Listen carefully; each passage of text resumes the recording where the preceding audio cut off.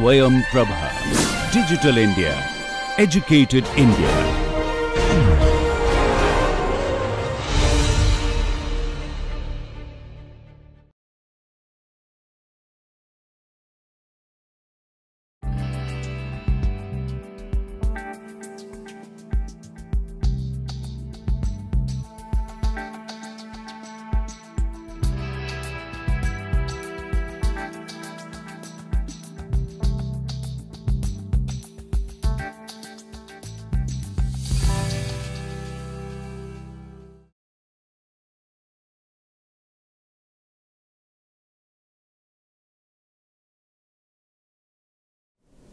Welcome to the fourth lecture of this course, Gender and Literature. So as you know, uh, in the previous lecture, the third lecture, we started off with the Munshi Premchand short story called uh, The Chess Players, which is translated to English. Uh, the name in Hindi is Shatranj Ki. And we were looking at the short story, uh, and we also mentioned the film, which is made out of it, adapted out of it by Satyajit Ray. Uh, we looked at the short story as a classic case uh, of gender studies uh, in a certain historical condition. So as you know, as I mentioned in the previous lecture, that a short story uh, belongs to the period between 1847 uh, to 1856, which is right before the Sepoy Rebellion, when the company is taking over the kingdoms, the company is becoming increasingly powerful, uh, and there was a, growing resentment against the company's rule, against the company's sort of dominance across India, as a result of which there will be the Sepoy Rebellion in 1857. So this is a short story immediately before that, uh, and it, it, the setting is Lucknow, the setting is Awadh, you know, which is a kingdom ruled by the ruler Wajid Ali Shah, uh, and we looked at how uh, different kinds of masculinity are in conflict with each other. So we have the Nawabi feudal, uh, hedonistic, pleasure-loving masculinity, which is contrasted, compared and contrasted with uh, the more pragmatic, productive, uh, capitalist company masculinity embodied by the British. And the British people working for the East India Company uh, who are more military, more pragmatic, more rational, uh, more productive, uh, less hedonistic, more clinical, uh, sort of mercilessly uh, mercenary, right? So they're, they're complete capitalists as opposed to the more lyrical, poetic, metaphoric, hedonistic masculinity embodied by the Nawab. Now, more importantly, is the condition of the woman we touched upon uh, in a previous lecture where we said how the female gender, so you know, the, you know, the location of the female, the location of the woman in this kind of cultural context was quite tragic, was quite depressing because the female, they, they were located essentially, so if you're a married woman, uh, you know, married to someone like Mir or Mirza, the two protagonists in the short story, you are located in the confines of the house, uh, the interior of the house, in other words. So the one house one building would have several subspaces. So there will be this completely and purely private space which the woman would inhabit uh, from where uh, she would make food, give out food, give out pan, follow the instructions which are sent from the outside. And there will be this divan khana or the semi-urban space between the public space and the private space. That's the divan khana where the men sit, meet, play chess, discuss different things uh, which are quote unquote outside the purview of the woman.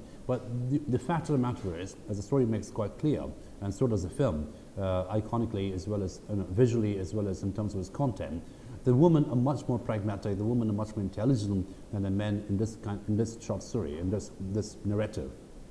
And it's a tragedy that they don't have a real political, financial, or cultural agency. They're completely imprisoned uh, in the interiority of the house as a result of which they can just be resentful, they can just be uh, manipulative, they can just, you know, be manipulative for very little petty ends. They don't really have a real political agency. So Mirza's wife, for instance, uh, the character played by uh, Shabana Azmi in the film, uh, is, an, is an extremely intelligent character. She's resentful, she knows, she can see true things, uh, she's intuitive, uh, she obviously has much better administrative qualities than her husband or her husband's friend, uh, Mir, but then because of her biological birth as a woman, because of her biological location as a woman, uh, she cannot really enact any agency. She cannot really enact any authority. She doesn't have any authority uh, in this kind of a cultural context. So we just saw uh, at the end of the lecture, the previous lecture, uh, did that particular scene where uh, Mirza's wife is extremely resentful of her husband you know, spending enormous amount of time playing chess, and this endless games of chess which go on between a husband and a husband's friend Mir.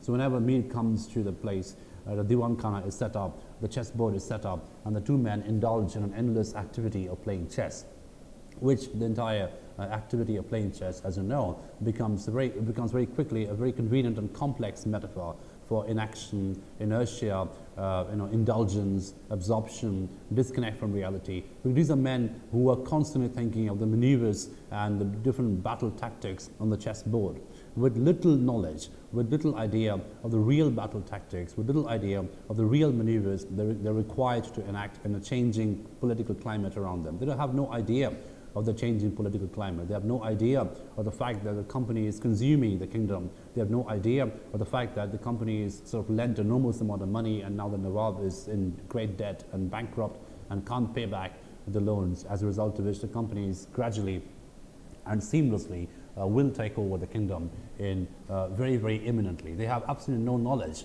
of this uh, real situation because they're completely absorbed in this game of chess. And that is what defines their gender identity. That is what defines, that's the sole determinant of their gender identity. Uh, the endless games of chess that they play with each other. Uh, and the condition of the woman, as I just mentioned, is extremely tragic. They are sort of imprisoned in the interiority. They are resentful of this game of chess, uh, but they don't have any real action. They don't have any real agency, as a result of which they can't act. They can't act out their anger, except with very futile words and rhetoric and rage.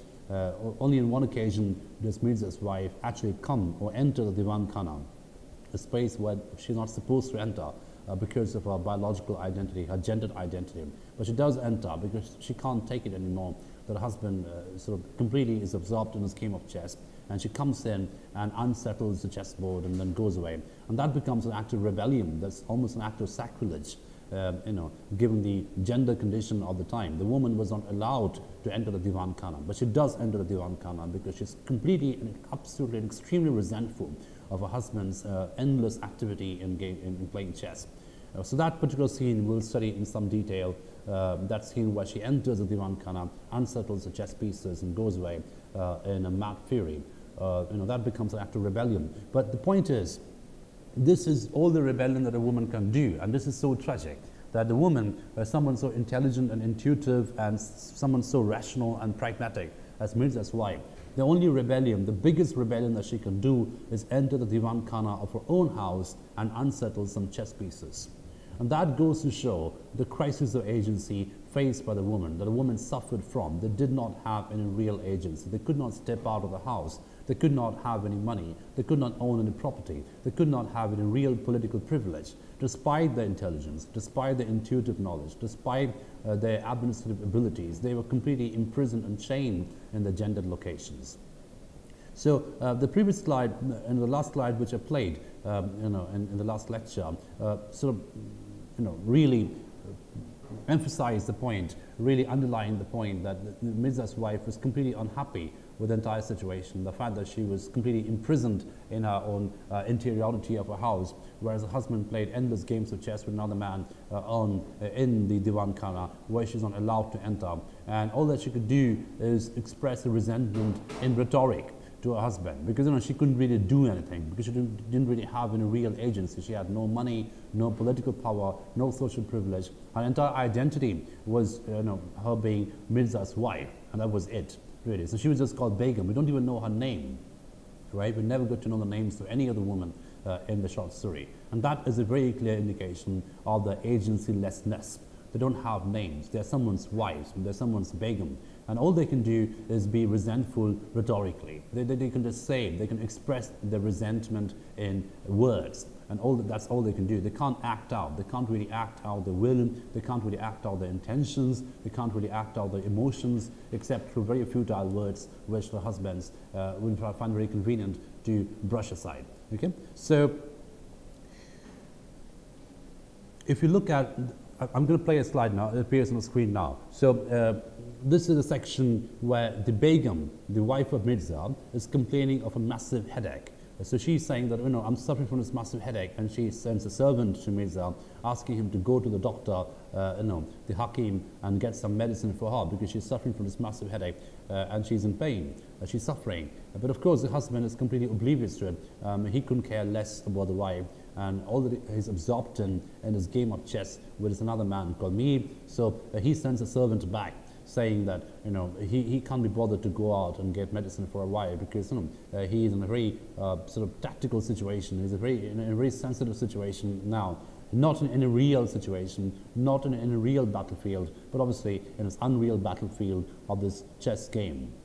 So the entire idea that Premchand wants to communicate to us, or Ray wants to communicate to us, convey to us uh, through this film, the medium of the film, is the fact that these are men uh, who are completely absorbed in unreal activities of leisure. So they have no idea of the reality of the situation, about the political reality, about the economic reality, about the domestic reality. They don't even know the wives, they don't even connect to the wives, they couldn't even be bothered to the wives. The wives are just commodities. Uh, uh, who produce food for them and serve them as they play these endless games of chess. So this is indeed a very tragic situation for the woman. This is indeed a very sad situation for the woman where all that she is reduced to is a machine producing food. Uh, she has no agency, she has no presence. Uh, her, I mean, forget about uh, female agency. She has no human presence uh, apart from being uh, somewhere inside the house, someone inside the house, something inside the house preparing food and pan for Mirza and Mir. And that goes to show again, and I spent a good deal of time in the last lecture talking the relationship between gender and space. So her location in the interior section of the house is quite telling because that is reflective of the situation of the woman who was not allowed to step out, who was not allowed to uh, sort of step out of the interiority of the house and take up a public position or even a semi-public position. So because remember, uh, I have mentioned this scene already and I will play it up. Uh, I will sort of talk about it in great details when I come to it really in the short story. Uh, the, the, the moment when Mirza's wife actually enters the Divan Khana, she is, uh, for all her rage, for all her anger and resentment against her husband and, and, and his friend and his game of chess that they play, she is hesitant. She suffers from a moment of hesitance, you know, uh, you know, ambivalence. So she is someone, uh, you know, who's very, very assertive and uh, someone who's very intelligent and someone obviously who wants to make her presence felt. But because she is uh, forbidden from entering the Divan Khana. Uh, and she's grown up in that kind of value system which uh, forbids women from entering the Divan Khana on a semi-public space. She suffers from some kind of a crisis uh, for a moment when she's about to enter the Divan Khana and unsettle uh, the chessboard uh, for her husband right? So despite her age, um, you know, she is still hesitant. She is still someone uh, who doesn't quite know whether this is the right thing to do or, the, or, not the right thing to do. But she ends up doing it. She ends up unsettling the board. She ends up destroying the chess game for them, and then she runs away uh, in fury. Now, uh, this is a section where she's asking her husband to go out uh, and get some medicine for a headache. Uh, and she had sent the servant to the, to, to the husband, uh, who very conveniently sent him back, saying he's busy now and can't go now uh, you know, and you know, he's asking her to wait essentially, which goes to show obviously that his priorities are more inclined towards unreality, towards indulgence, uh, towards indolence, and he's much happier playing chess with another man than taking care of his domestic duties. Forget about, let alone political duties or financial duties, because you don't have to worry about those things.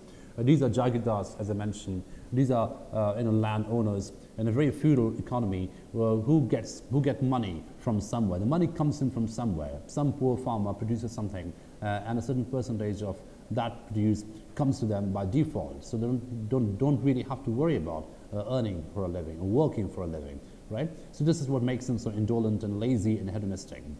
So this section, uh, which will appear on your screen uh, in a second, and it does now. Uh, so when Mirza Sahib went in, so this is after a lot of requests, and he finally gets in and talks to his wife, because the wife is obviously enraged uh, and tells him that, uh, and sends a servant with a message that if Mirza doesn't go out to get, to get the medicine for her, she will go out herself, and this is unthinkable. Uh, the wife of the house stepping out on the road to get her own medicine will be a sacrilege, a spectacular sacrilege. So Mirza has to go in at that point. When Mirza Sahib went in, the Begum changed her tactics and said, groaning with pain, You love this wretched game so much that you don't even care if I'm dying. What kind of a man are you? So this question uh, is obviously a very telling question. What kind of a man are you? So, you know, this question which appears on the screen now, and I'm highlighting it when it's red dot away? What kind of a man are you? Uh, obviously is a question about the masculinity of these people. So they don't really have any masculinity. They don't really have military masculinity, rational masculinity. All they indulge in is a very hedonistic kind of lifestyle, which is completely oblivious to the domestic duties, to the financial duties, to the political duties. And these are courtiers. They're supposed to be uh, you know, responsible uh, to the kingdom, to the well-being of the kingdom. But of course, this is a situation which is completely decadent. So no one's responsible for anything, and everyone's absorbed absolutely uh, in leisurely activities. So the question, what kind of a man are you, uh, which comes from a woman, uh, is a really tragic question because, you know, she is someone who's suffering, not just from an immediate headache, but from her lack, from a complete uh, crisis of agency and lack of care. I mean, she's not really cared about as a human being. She's a commodity. She's a machine producing food and selling the food on palm uh, to the men who play chess endlessly in a semi-public space in a house, right? So Mirza replied, uh, what could I do? Mir Sahib wouldn't let me go. It was so hard to come, which is an absolute, absolute lie. If you, if you read the entire short story, you find that Mir actually asks him to go and take care of his wife. Mirza says, oh, let her, uh, you know, this is just a tactic for her to, to ask me to come in and destroy her game, so I might as well carry on with the game. And he went in much later uh, when, the, when, the, when the servant came and told her that, you know, if you don't come in, the Begum will step out of the house and go to the Divan Khana, the, the, the, the Hakim herself. And at this point, at that point, he was forced to go. But obviously, he's lying over here. So he says, What could I do? Mir Sahib wouldn't let me go. It's so hard to come. Does he think all are as idle as he? Does he have any children or has he cleaned them up? He's such an addict. Whenever he comes, I'm forced to play. Now, the reference to the children is very interesting because both these men are childless men. There's no mention of any child in, in, in, the story. And there is a child who appears in the film, the end of the film, who, who doesn't appear uh, in the end of the short story, but there's a little boy who appears in the end of the film, and he's a very symbolic presence, and we'll talk about that uh, towards the end of this lecture.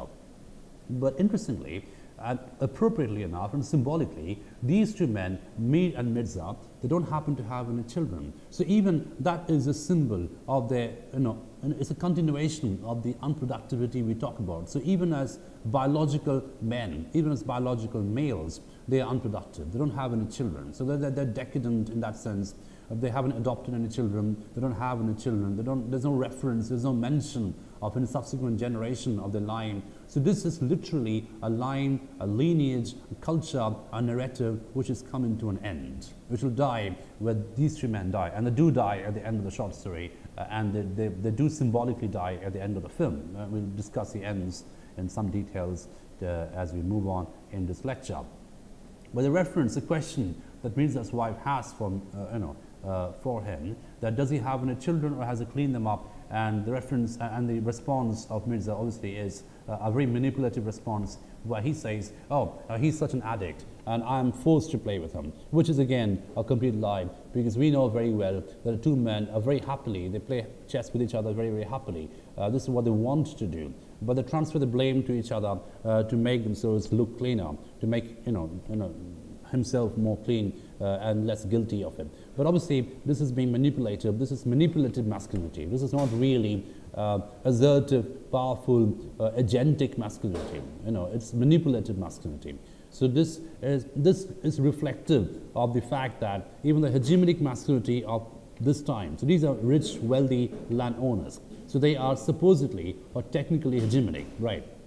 Because of the financial location, because of the cultural location. These are, you know, uh, high class people. These are people with money, uh, with property, with wealth, with some degree of agency. But even they, even then, uh, these people, they are forced to be manipulated. They are manipulative, they are lying, they have to lie. So which goes to show that there is no real hegemonic masculinity left in this kind of a cultural situation. And it's, you know, it's just waiting to be taken over. It's just waiting to be replaced. This kind of hegemonic masculinity is decadent, it's dying and is waiting to be replaced by uh, a more capitalist, a more pragmatic, a more utilitarian, a more uh, mercilessly mercenary kind of masculinity, which is embodied by the East India Company, uh, the white people working for the East India Company, who come in and take over the kingdom as if it's a, it's a piece of cake. It's, you know, it's really a cakewalk for them, just march in and take over the kingdom without any resistance on the part of the Nawab or the military, right? So, uh, and the question then she asks subsequently to Mirza is, why don't you drive him away? And the response is, he is my equal in age and two places higher in rank. I have to oblige him.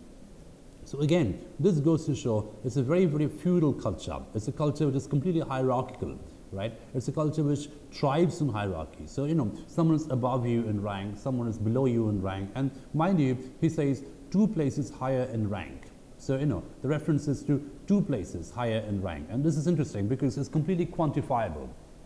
The hierarchy is not something which is an abstract hierarchy. It's a completely material, quantifiable hierarchy. So you know exactly who belongs to which place. So I'm, you know, two places beneath someone. I'm two places above someone. So I can quantify it. It's a very defined, fixed a quantifiable kind of hierarchy because it's a very feudal system, right? And that's the kind of feudal system which produces this kind of masculinity, this leisurely, hedonistic, lazy, indolent kind of masculinity, and which makes the condition of the woman even worse because the woman uh, don't, don't, don't really have any agency. You know, all they can do is be someone's wife. And even there, you know, as someone's wife, they hardly have any agency inside their own house. They can't enter certain sections of the house. They're confined to certain sections of the house, and all they can do is be resentful uh, or be manipulative uh, in order to get some kind of agency. They don't really have any real agency. They don't have any financial, cultural, political agency. And you know, just to get a little bit of agency inside their own house, they need to be resentful and manipulative and nagging and all the rest of it, right? Which obviously goes to show the very sad condition of the woman at this time. The men with agency are unproductive. They're biologically unproductive, they're economically unproductive, they're culturally unproductive. So they are decaying away. These are dying men, these are older men. So these are, these are men who are decaying away with time by playing endless games of chess by completely busying themselves with complicated maneuvers on an unreal battleground. With, with no knowledge whatsoever of in a real battleground, of in a real economic situation, of in a real political situation. That knowledge is, I mean, they, they don't need to have that knowledge. They're not bothered about the knowledge. Whereas this is a time which is a very um, sort of a very sensitive, complex time when everything is changing.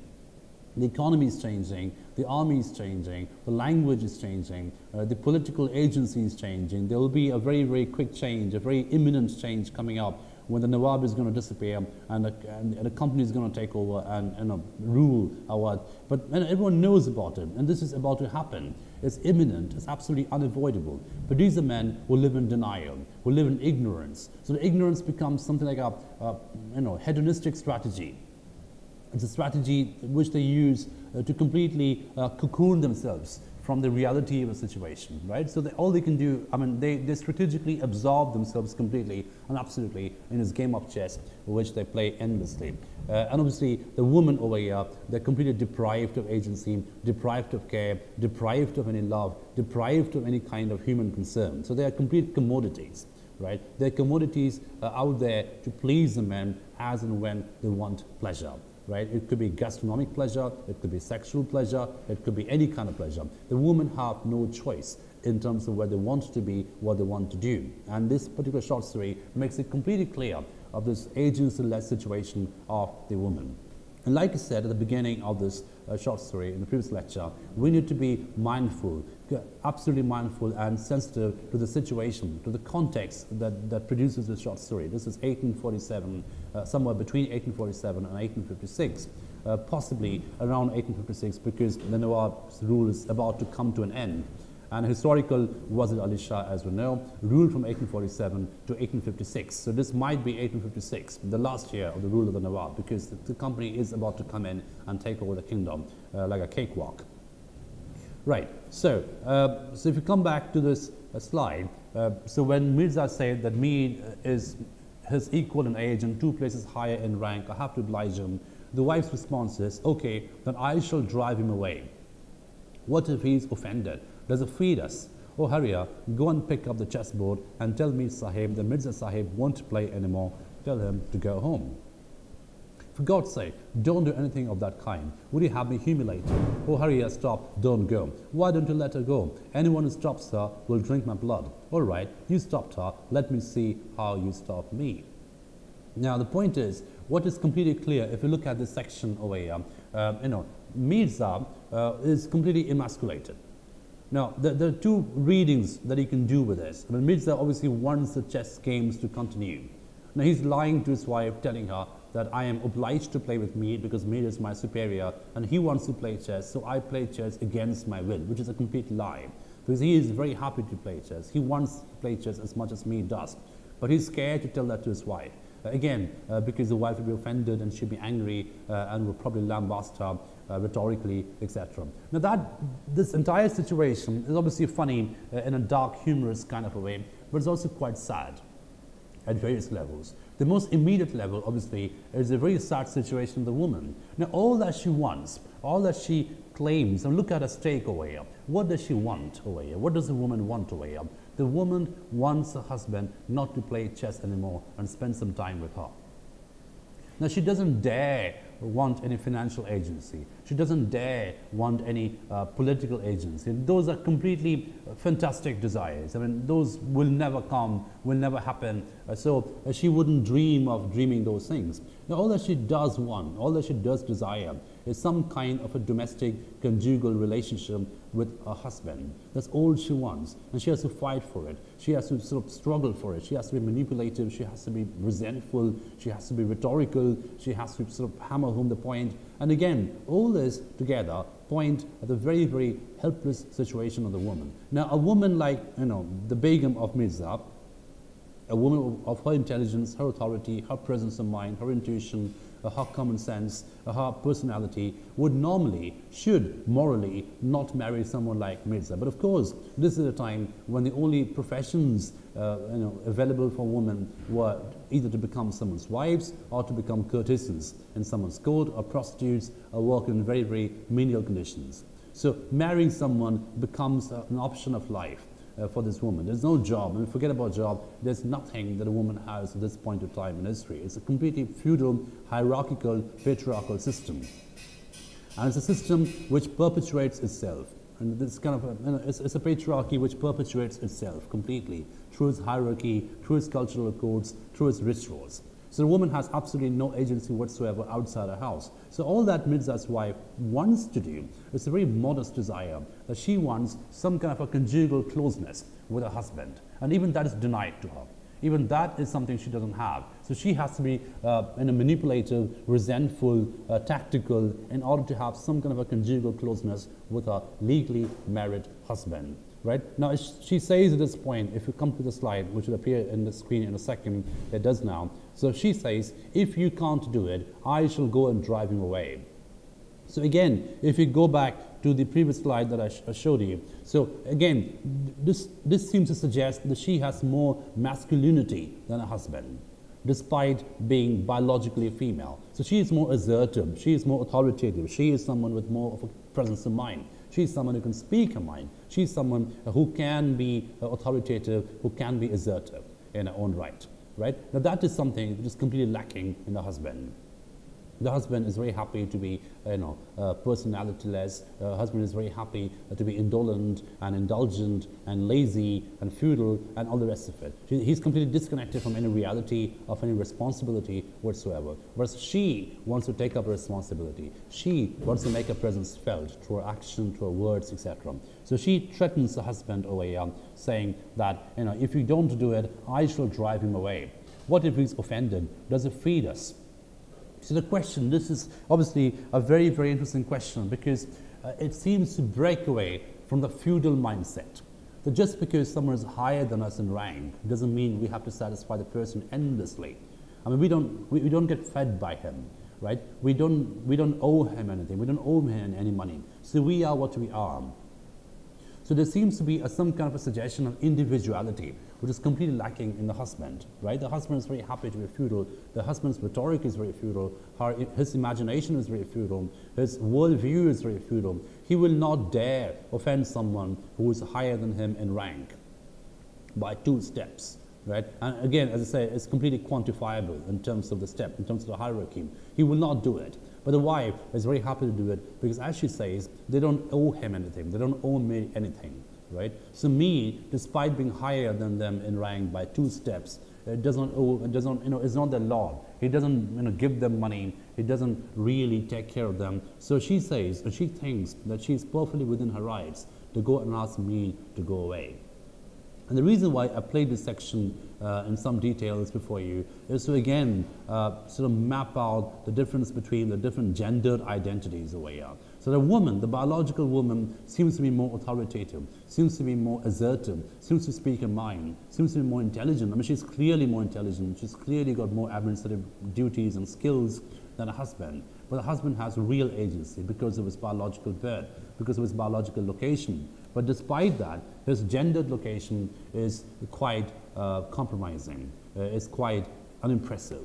And that is reflective of the gendered location in the kingdom of Awadh at that point of time, the kingdom in the city of Lucknow. Uh, it is completely emasculated, right? The, the, it's politically emasculated, it's militarily emasculated, it's economically emasculated. And this emasculation is something which is caused by indulgence, narcissism, absorption, uh, you know, complete absorption in hedonistic pleasure, uh, and a certain degree of intoxication as well. Intoxication with pleasure right? So this is an emasculation which happens at various levels. And obviously, the British just come in, the company comes in with this very capitalist, mercenary, pragmatic, productive, goal-oriented kind of masculinity and takes over the kingdom without any resistance whatsoever.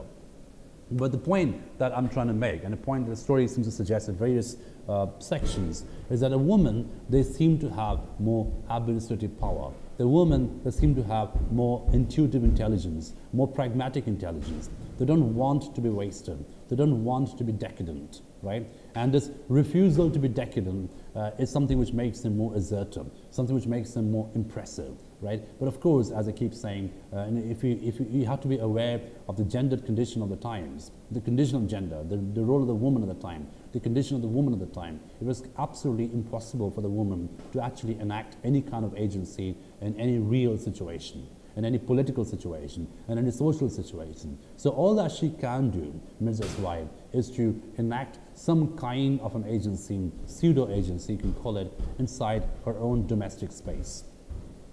So in order to claim her role, in order to claim her location, in order to claim her situatedness uh, inside her own house, she is forced to be manipulated, she is forced to be resentful, she is forced to be, uh, you know, absolutely neurotic, right? And she's completely neurotic with rage. She's sort of shivering with rage. She wants conjugal relationship with her husband, which is denied to her, right? And all because of this absolute absorption in this game of chess. That is, two men play with each other, right? Okay.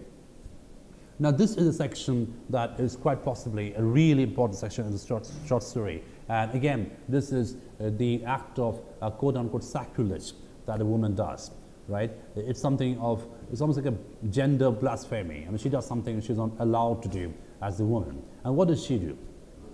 Saying this, the Begum Sahiba moved towards the Divan Khana. So this is a very symbolic move, moving towards the Divan Khana, because remember, the Divan Khana is an all-male space.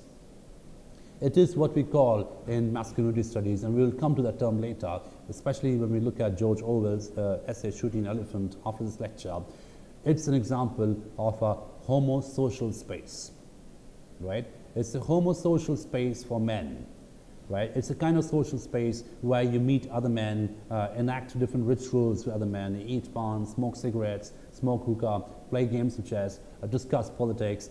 It's a space which is completely homogeneously male, and hence is homosocially male. It's a social space which is homogeneous. There is no presence of the other gender. There is no presence of the woman uh, in this kind of space. So the Divan Khana, when she's moving towards the Divan Khana, is a symbolic act of subversion.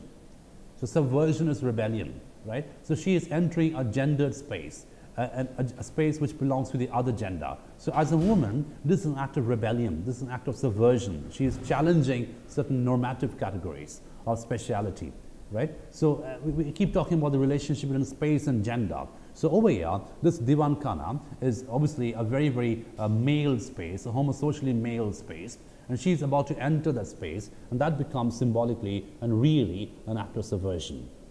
Okay? So we need to be careful, we need to be aware of the, uh, the significance of this particular section in the short story, the emotional significance, the existential significance, and most importantly, the subversive significance, right? It's so significantly subversive uh, as an act, as a movement, right?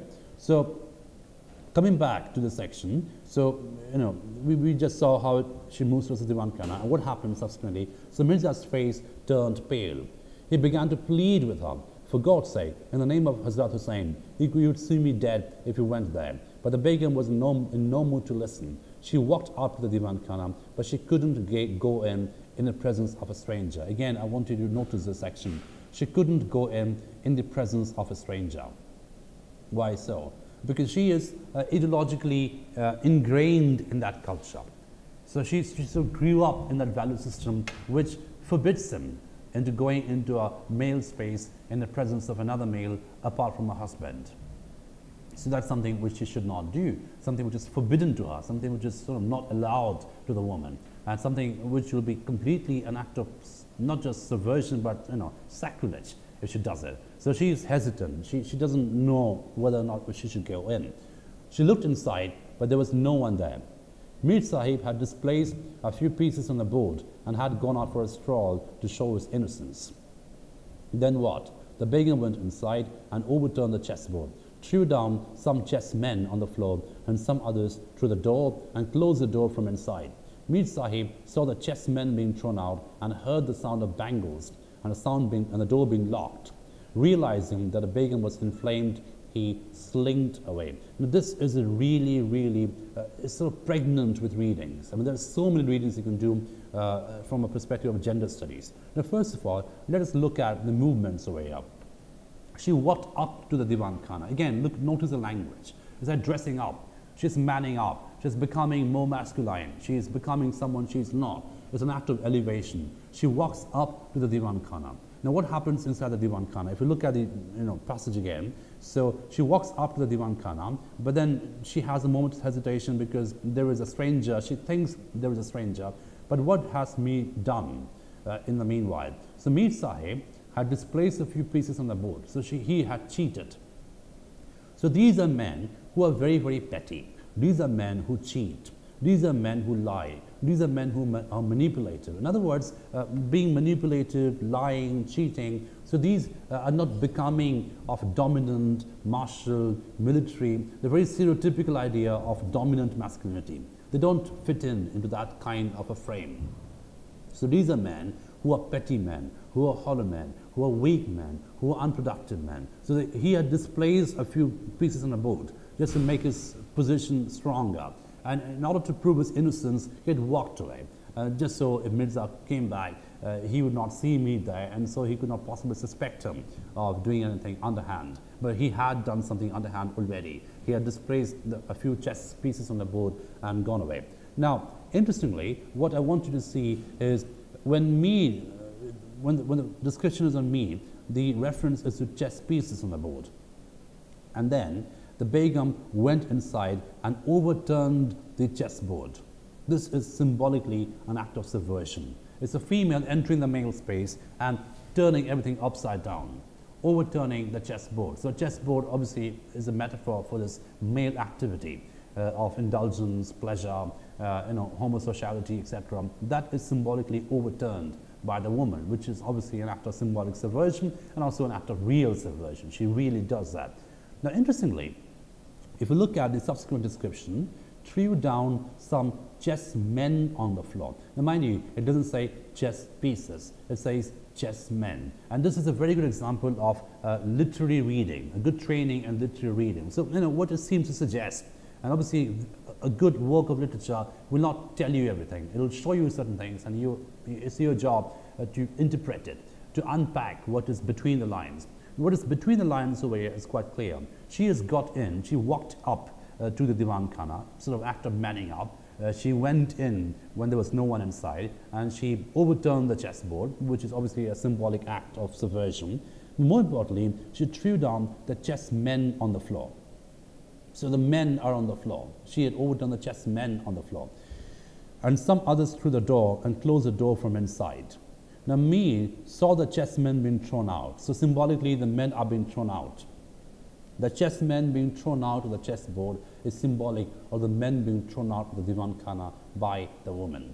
And heard the sound of bangles and the door being locked. So, if you look at the sounds over here, it's a female sound, the female sound dominating the entire acoustic system uh, in that room at that moment, moment of time. So she walks in, uh, you know, flings the chessboard, uh, overturns the chessboard, flings the chessmen on the floor, and Mir hears the chessmen being flung on the floor.